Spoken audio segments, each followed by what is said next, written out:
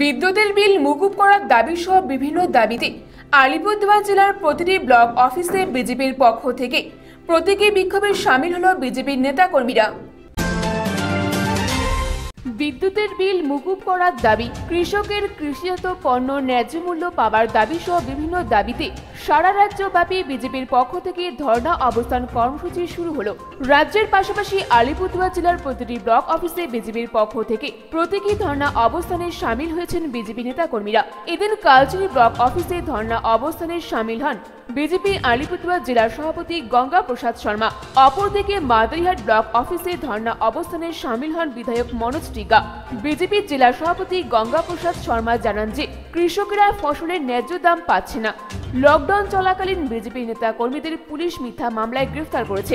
এই সমস্ত কিছুর প্রতিবাদে জেলার প্রতিটি ব্লক অফিসে ধর্ণা অবস্থান কর্মসূচি চলছে।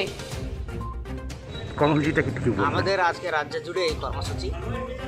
পশ্চিমবঙ্গে করোনার সংখ্যা লুকানো হচ্ছে কেন? তার বিরুদ্ধে আমাদের এই ধর্ণা প্রদর্শন, আমাদের দাবি, এই সঠিক সংখ্যা মানুষের জানার অধিকার আছে। সেটা রাজ্য সরকারকে বলতে হবে। আমরা দেখতেছি অনেক চালের গাড়ি, সরকারি চালের গাড়ি, বিভিন্ন রাশন দোকানে, বিভিন্ন ডিলারের কাছে ঢুকে সেই চাউলটা বদলি হচ্ছে। সঠিক চাউল সেই, তারপরে সেই সড়া পচা চাউল অনেক জায়গায় মানুষ এরকম পাচ্ছে। তার বিরুদ্ধে আমাদের এই ধর্ণা প্রদর্শন। আমাদের সাংসদ আমাদের নেতা এদেরকে বাড়িতে হোম কোয়ারেন্টাইন জবরদস্তি রাখা হচ্ছে। অথচ তৃণমূল কংগ্রেসের নেতারা ঘুরে বেড়াচ্ছে। এটা কেন হচ্ছে? তার বিরুদ্ধে আমাদের আজকে এই ধর্ণা প্রদর্শন।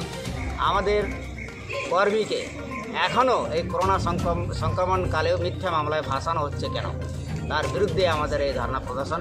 আমরা এই আর অন্যায় আর বরদাস্ত করব না। সেই জন্যই আজকে আমাদের এই ধর্ণা প্রদর্শন।